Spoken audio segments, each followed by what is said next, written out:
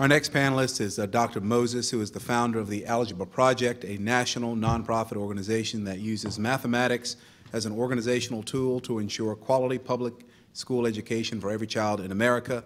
The project has built upon more than two decades of research and curriculum development around mathematics education for low-income and low-performing communities. Dr. Moses. So, hi, everybody. I was an invited guest. and I showed up. and I was told I would be given 10 minutes. So if you don't mind, I'm going to try and take my 10 minutes. And I want to start with a story. It's the spring of 1963. I'm on the witness stand in the Greenville Federal District Court. My lawyer is John Doar. He's Burke Marshall's assistant. Burke Marshall is the civil rights attorney for the Justice Department. His boss is Robert Kennedy. President Kennedy is still alive. In front of me is a courtroom packed with sharecroppers. Standing around the wall, Judge Clayton is the federal district judge. He leans over and asks me a question. Why, he wants to know, are you taking illiterates down to register to vote? Sharecropper illiteracy was the subtext of the right to vote. It happened in Mississippi in 1875.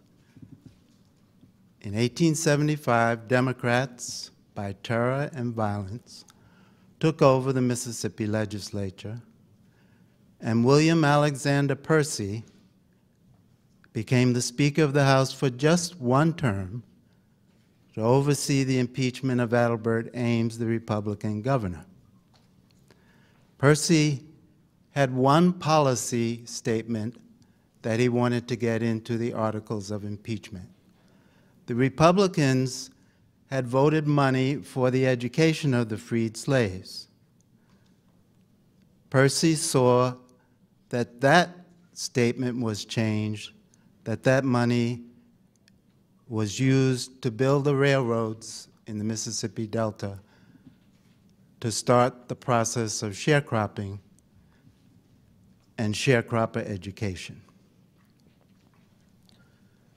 So sharecropper education was the legacy of this country. Every reporter that came up to me during those times asked me the same question. He said, Bob, why are your people so apathetic?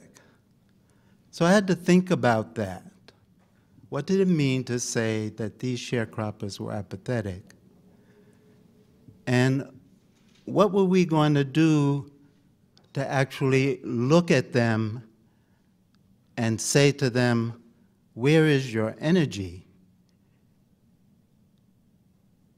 So what it turned out was that the meeting place turned out to be the place where we could tap into the energy of the sharecroppers.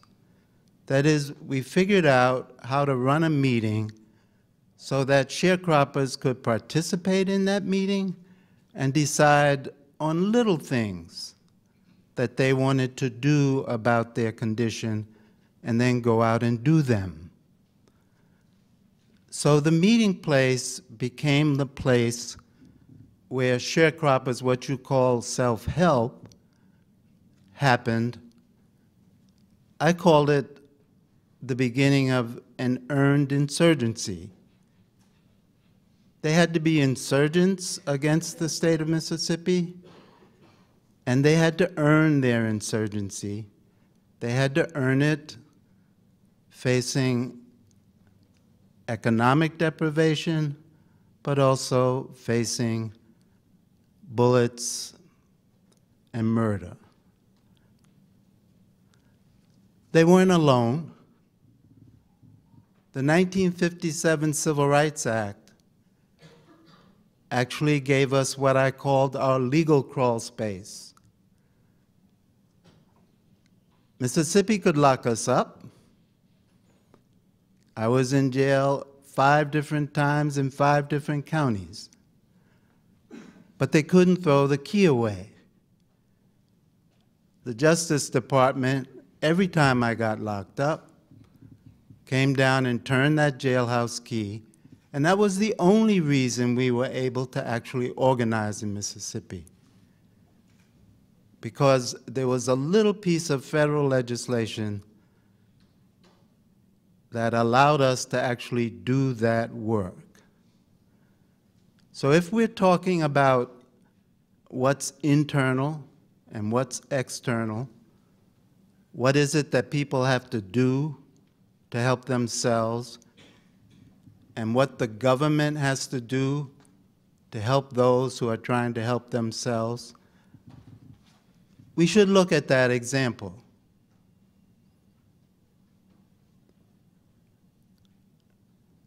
Now, with the Algebra Project, the issue has changed from, and what makes algebra a force around which we can organize, because in the 1960s, we were using the right to vote as an organizing tool to get political access. So what we are doing now is using algebra and math as an organizing tool to get educational and economic access. What allows us to do that is the shift from industrial technology to information age technology. This is a huge shift.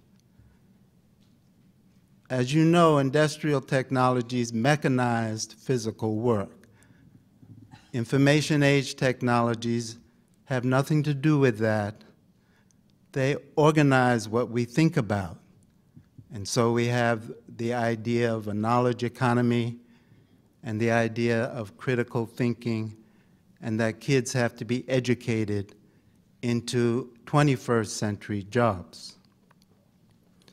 So the Algebra Project has taken on this idea that we can use math because of this shift, because with the industrial technologies, reading and writing literacies were the requirements for citizenship and access to economics.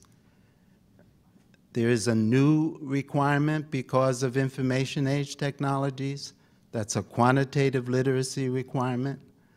And so the Algebra Project has taken on how is it that we're going to mount with the young people that we've been talking about here an earned insurgency around their education to do what everybody says they don't want to do. So I began this work. I'm a father. My wife and I have four children. And my job in the family was to do the math. My wife did the language arts.